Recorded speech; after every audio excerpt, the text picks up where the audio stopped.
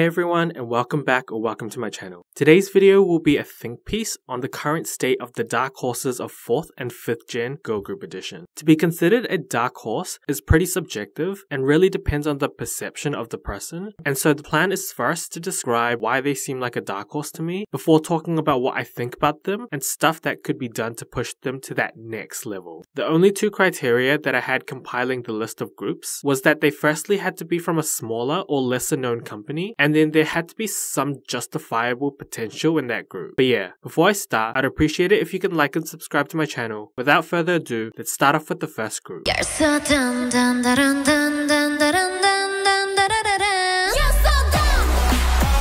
Starting off, we have Everglow, who I feel like were the OG dark horses within K-pop 4th gen. Despite Yuehua being big in China, Yuehua's Korea division is a different story, with what seems to be restrictions or potential neglect occurring as we start to hear more management issues coming out from different Yuehua artists. I mean, they aren't completely small company vibes and could probably take losses to some degree because their China division makes bank to potentially offset some of that loss. However, there will always be a limit to how much they will go all out for an artist. For Everglow, they have always had a noticeable international lean regarding their fan base. This is alright, technically, since it has allowed them to sustain their career. However, considering their main promotions are in Korea, this could cause slight concerns that they have not been able to transcend or even level out their ratio of domestic to international fans. What didn't help them was that they had a two year long hiatus that coincided with ushering the second big wave of rookie monsters, leading to some of their attention slowly dipping. The hiatus originally stemmed from cultural differences between Korea and China exhibited by Yiren's behavior, which has also been another underlying issue for Everglow that adds complexities to their situation. The political relationship between the two countries has complications, and thus the constant association of Everglow with Yuehua, who are well known for being a Chinese company, there just seems to be these negative associations from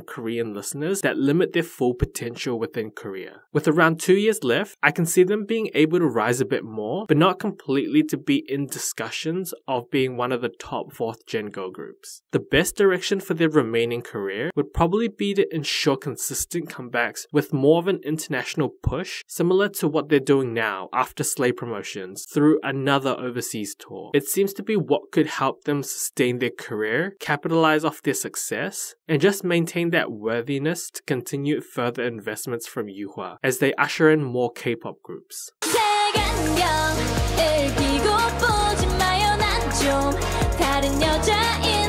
Next, we have STAYC, who I would say was one of the first groups in the 4th gen to properly lift up their company from basically nothing. Despite having a well known producer who could make great hits for them, this doesn't always equate to instant success, as discussed in my older video that I did comparing STAYC to Brave Girls and Bugaboo, who all were in companies founded by well-known music producers. STAYC would garner most of their initial success from their first comeback of ASAP, and then would continue to build on that momentum with each release. I would kinda equate their success similar to Cosmic Girls, who has seen a constant increase in their success with each comeback, but still aren't quite noticeable by viewers as a noteworthy competitor. I think one of the reasons for this is that STAYC seems to lack that wow factor. They have such great music and the group just works cohesively. However, I don't know if it's just me, but there isn't that one specific wow thing or even member that just notably distinguishes the group like that. What didn't help would be that second wave of rookie monsters that I talked about before, which would introduce newer groups from influential companies and thus began that slight shift in attention away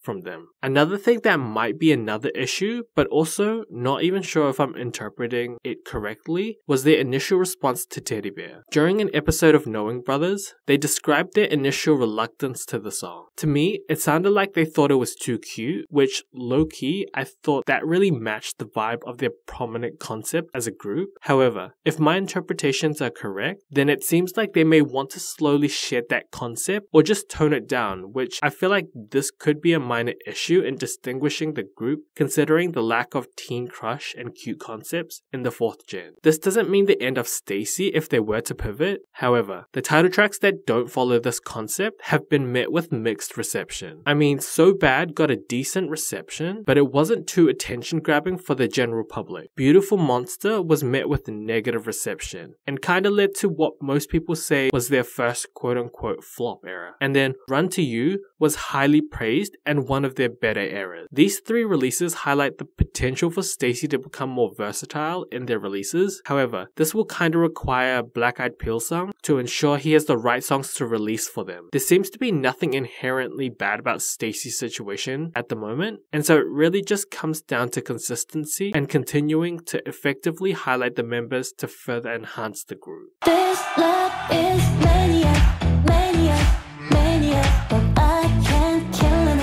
Comprised of former G-Friend members, VIVIZ has presented an interesting dynamic change through the crumbs of being in the same former group. While it's easy to say that based on G-Friend's relative success, they should also be able to match that same success, this seems to be not completely true, as we have seen all of the post G-Friend soloists slowly lose the hype that they've gained from being in G-Friend. The only exception is the only post group that came out of G-Friend being VIVIZ, who has seen a slightly different trajectory and has been able to both show a new side to them while maintaining a decent size of its original fanbase. Despite the massive wave of attention recently gained from their title track of Maniac, this is not considered the norm for them, as their releases as VIVIZ so far has garnered mixed reception. At worst, the releases have been seen as basic for the group. The trio made a smart decision through overcoming the initial identity and concept building through experimenting and getting more comfortable as a trio through their appearance in Queendom Season 2. However, it is still not clear what concept that they're trying to go for, and thus Despite the recent success, their next focus should be on either deciding whether to double down on moving forward with the concept similar to their 2023 era of Pull Up and Maniac, revert back to their 2023 era sound of Bop Bop and Loveade, or even continue to experiment with another concept or sound. Next up is Triple S, who are on this list for two reasons. Firstly, because they got awarded the Best New Female Artist in 2023's Mnet Awards, which technically isn't the only award show and can even be sus at times, but I feel like recognition is recognition. The other reason is because the CEO of their company was also the creative director for LOONA, and so this might be me being a little delulu, but I was kind of drawing the parallels between Triple S and LOONA to some degree. I mean, there are obviously differences between the two groups. However, despite the differences, I just feel like there's potential for Modhaus to use a similar formula created from their experience with LOONA. I mean, one key distinction that sets them apart from LOONA, but also most groups, is the unlimited subunits with already eight different subunits to their name. With this eight so far and more to come, this gives Triple S an advantage of having both a range of concepts that they can trial with different members to both highlight members that suit certain concepts while also giving them a range to just experiment in general. The inclusion of actual fan participation in progressing these comebacks also adds that extra layer of connections from the participants and thus there is a stronger relationship as the fans get more of a say. The only issues that I can see at this moment would be that everyone sees things differently and there is no one way of seeing how Triple S should go about and so this could eventually lead to inner fandom conflict if the fan participation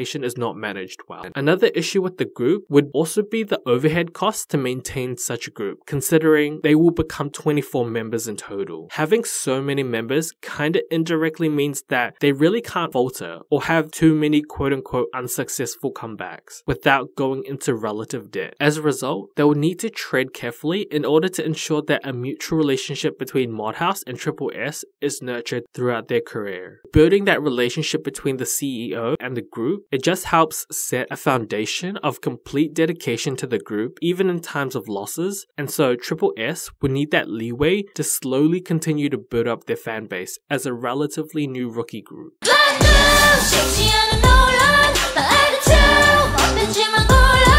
And finally, we have the newest rookies from this list of Kiss of Life. Having just passed half a year into debuting, they have already managed to capture the attention of international listeners while slowly growing their domestic fan base. Having both the skills and potential, their releases have fortunately complemented this and have clearly distinguished themselves within the competition of K-pop. I mean, the ability to create unique one-off variations to each of their different year-end performances while also displaying such charismatic charm, it's clear that they're bringing something different that is bringing life to the new wave of K-pop groups. As for issues, their company of S2 Entertainment had only one experience with having a girl group and that didn't end that well as they abruptly disbanded a few days before their first year anniversary. However, like I said in another video that I did about the two groups, there are and were many differences that explains why Kiss of Life could be different. Other than that, I would say it's too early to notice many issues at hand with them since they only have 6 months to their name. Obviously, they'll need more time within the industry before we can start to see whether their success will continue to grow, stagnate, or even plateau. Their first year as a group could even just be the hype of just being really new. And so with more groups debuting and other existing groups making comebacks, we'll honestly just have to see with time to make more definitive comments about their trajectory. The only generic but still relevant goal that they would need to work on is maintaining interest and continuing to build on their success with the right moves, which is part potential and part luck. A combination of right timing and consistency, and then Kiss of Life could be strong contenders as one of the top 5th gen girl groups, or even potential leaders. Final thoughts. There are just so many girl groups that I could have talked about. This video was slightly just an outlet to talk about multiple groups in one, as opposed to giving a dedicated video on just one group. Do note that I did exclude some groups for different reasons, but one noticeable group that almost made the list for me was Billlie, who I would also kind of think is similar to H1-KEY. They both received viral moments, and thus you would assume that as long as they build on that momentum, then it should only be up from here, right? However, for me, I think Billlie kinda seems like they're going towards that Dreamcatcher or even Mamamoo route of attention. Like, musically, they're so distinct in their sound, however, it doesn't feel too general public friendly, and so that's kinda why I think they would instead garner that niche but loyal fan base to sustain their career. Also, better late than never, but slight disclaimer since I did look at the negatives for each group to kind of see what might be holding them back, there is so much that can change from when I make these videos. I mean, my Black Swan video is a perfect example of initially being worried about the group to them having such a good comeback run with Karma, and then still having constant flows of promotions considering the size of DR Music and even in comparison to the norm of basically nothing during their debut to close to me era. Like, this shows that anything could truly happen to both groups included in this video and groups that I haven't mentioned. But yeah, that's it for the video. Thanks for watching and let me know your thoughts on my thoughts on the state of these Dark Horse girl groups. And feel free to drop a comment on other groups that you think should be in this conversation, or just any other groups in general that you kind of want to discuss regarding their current state. Also, I have another slight question if you've made it this far. Do you like that I have timestamps that outright state the groups that I'll discuss. I was just kind of thinking about whether it'll be more interesting to be a bit more mysterious and name them Group 1, Group 2, Group 3, etc. Or like, is that me doing the most and just kind of stick to what I'm doing right now? But yeah, as for my next video, it'll follow a similar theming to this video, but is also kind of a sequel to another video that I did. Currently, I'm looking into the downfall, but also the current state of YG Entertainment. With the slow exodus of artists within the company for for many years now, it feels like YG will kinda need to do more in order to maintain his legacy, but also the YG brand. But yeah, still doing more research into that, and so if you're interested in hearing more, then please like and subscribe to keep up to date, and I'll see you in the next video. Bye!